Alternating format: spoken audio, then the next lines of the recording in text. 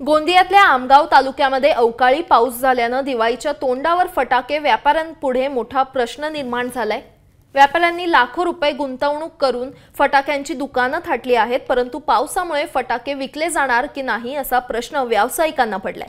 तसंच या पावसामुळे भात शेती करणारे शेतकरी सुद्धा हवालदिल झाले असून शेतकऱ्यांची दिवाळी अंधारात जाणार असल्याचं चित्र आहे.